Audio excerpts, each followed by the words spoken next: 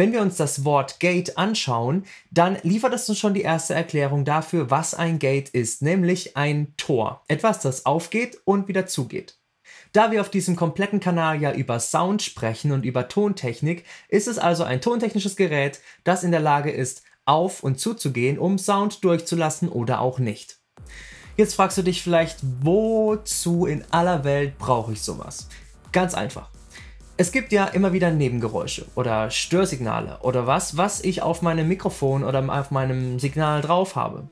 Und genau das Gate ist in der Lage, diese Störsignale abzudämpfen oder gar komplett rauszufiltern, wenn ich es richtig einstelle.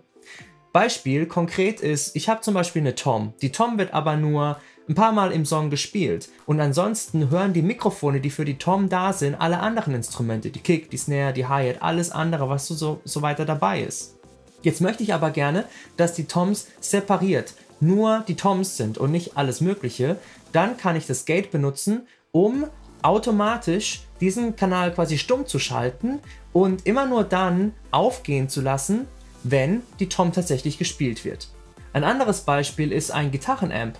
Ein E-Gitarrist zum Beispiel hat den Gitarrenamp ziemlich weit aufgerissen, dadurch haben wir Störgeräusche, Brummen, Surren, Summen. Und immer wenn der E-Gitarrist nicht spielt, brauche ich dieses Signal auch nicht. Das heißt, sobald er nicht spielt, ist nur noch dieses Summen da. Und ich stelle dann das Gate so ein, dass es zumacht, wenn der E-Gitarrist nicht spielt und nur das Brummen da ist und damit kann ich das Brummen rausfiltern. Aber genug darüber gelabert, was dieses Gate macht, schauen wir uns doch einfach mal an, wie es funktioniert. Auf deinem Mischpult findest du das Gate in etwa in dieser Form. Du hast verschiedenste Parameter, die du einstellen kannst und der allerwichtigste davon ist der Threshold. Threshold ist der Schwellwert, der überschritten werden muss, damit das Gate aufgeht und damit auch Sound durchlässt. Das bedeutet, wenn du deine Tom hast oder deine Snare oder deine Kick oder was auch immer, dann stellst du diesen Threshold so ein, dass es nur aufgeht, wenn das Instrument tatsächlich gespielt wird. Und ansonsten ist das Tor einfach zu. Ich habe hier eine Kick und diese Kick, wenn wir uns die mal ohne das Gate anhören, dann hört sich das so an. Kick, Snare, Kick, Snare. Du hörst, man hört verschiedenstes außerhalb der Kick. Wenn ich jetzt das Gate hier anmache, oh, nur noch die Kick da, alles andere ist weg. So muss ich das im Endeffekt anhören. Und jetzt haben wir hier den Threshold. Der Threshold ist es bei minus 20 dB. Wenn ich den Threshold jetzt hochsetze auf 0 dB zum Beispiel, dann setze ich hier den Schwellwert so hoch, dass praktisch an die Aussteuerungsgrenze gegangen werden müsste, um das Gate zu öffnen. Das heißt, was passiert? Wir hören nichts mehr. Es kommt nichts mehr durch. Es hört sich dann so an. Genau wie zu erwarten, ziemlich langweilig. Das heißt, wir gehen mal auf die andere Seite. Wenn ich jetzt auf minus 60 gehe, das ist ganz weit unten, dann hört sich das so an. Ich mache es aus, richtig. Es passiert gar nichts. Also, dann setze ich den Threshold jetzt weiter hoch.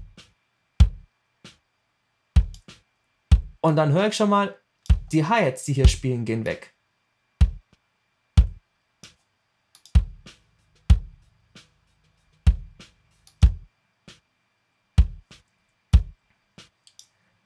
Und dann setze ich es so, dass die Snare nicht mehr durchkommt.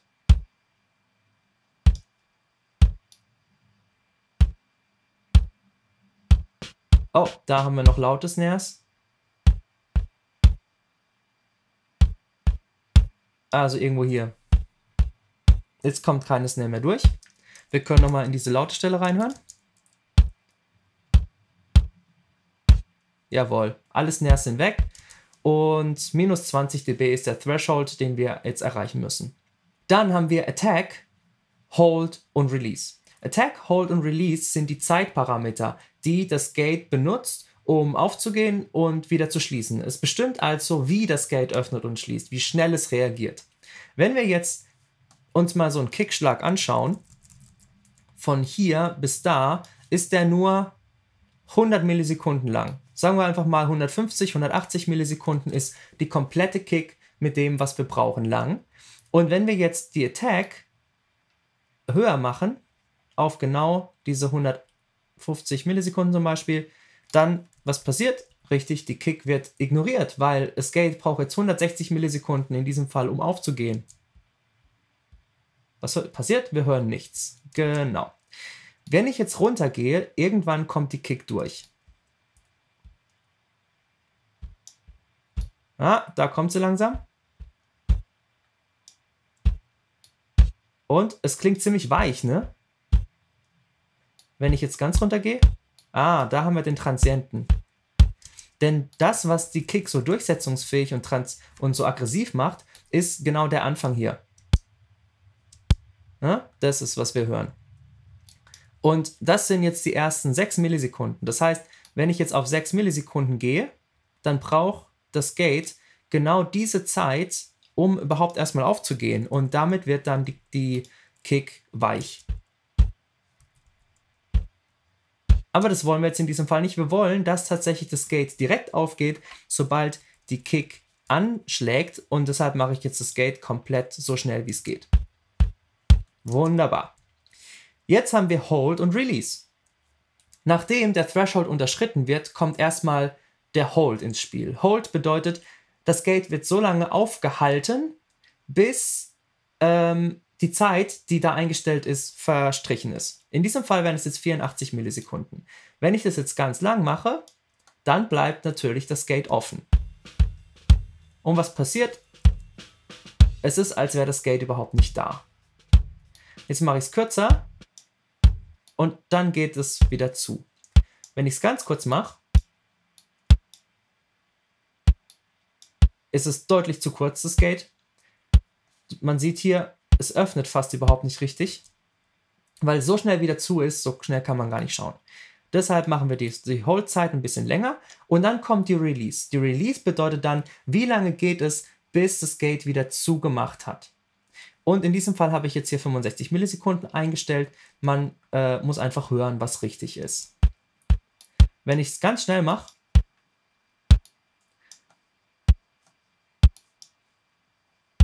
dann ist es so. Und wenn ich es länger mache,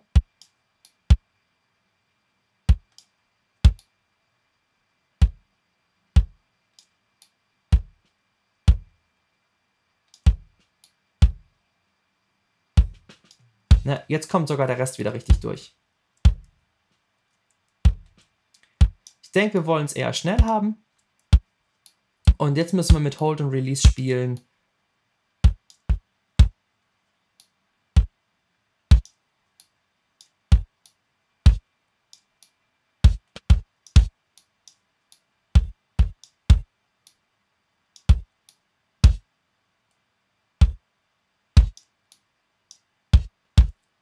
So in etwa.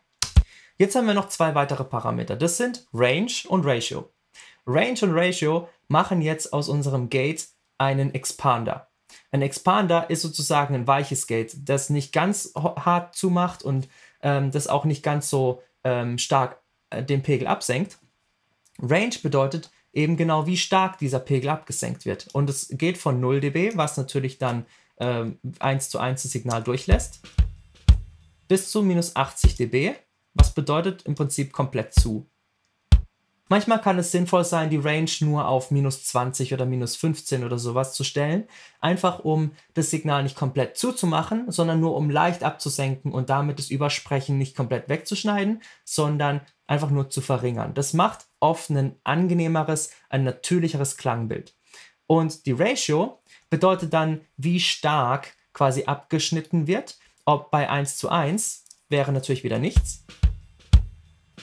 Und dann kann man jetzt sagen, okay, unterhalb des Thresholds wird in einem Verhältnis abgesenkt. Ein Gate hat eigentlich ein Verhältnis von unendlich zu 1 oder hier ist es das maximale 100 zu 1. Es macht einfach nur an und aus, auf und zu. Und hier kann man dann das Ganze ein bisschen weicher machen und somit eben einen Expander aus diesem ganzen Gate. So, hören wir nochmal mit und ohne. Jetzt ist es aus, das Gate. Jetzt ist es an.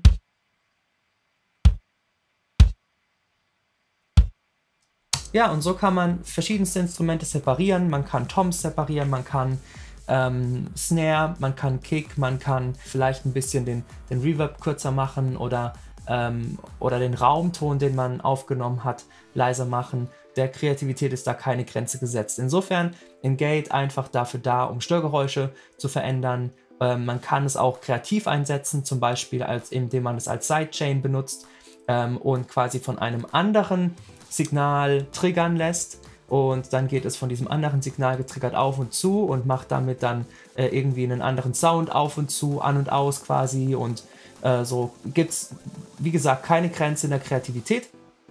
Aber die grundlegenden äh, Eigenschaften von dem Gate, wenn man die kennt, wenn man es einstellen kann, dann hat man die Möglichkeit, das auch kreativ einzusetzen. Insofern einfach lernen, wie man mit dem Gate umgeht, Threshold einstellen, dann ähm, Attack und Release und Hold, so bis du das ähm, Signal schön separiert hast, aber ohne auch was zu verlieren. Denn bei einer Snare zum Beispiel hat man ja oft so Ghost Notes, also quasi kleine Schläge, die zwischen den Hauptschlägen sind. Und wenn man die dann verliert durch das Gate, ist halt nicht cool. Ähm, deshalb so einstellen, dass man trotzdem noch alles hört, was auch da sein soll, selbst wenn es deutlich leiser ist. Ähm, wir wollen ja das Instrument als komplettes haben. Und dann über Range und Ratio einstellen, ist es eher ein Expander oder ist es wirklich ein Gate? Ähm, soll es komplett hart auf und zu machen oder soll es weich ein bisschen sanfter einfach eingreifen? Und dann hast du das Gate schon beherrscht. Im nächsten Video geht es übrigens über Kompressoren. Um Kompressoren. Ich spreche über, es geht um Kompressoren. Deutsche Sprache, schwere Sprache. Bis dann, mach's gut, ciao.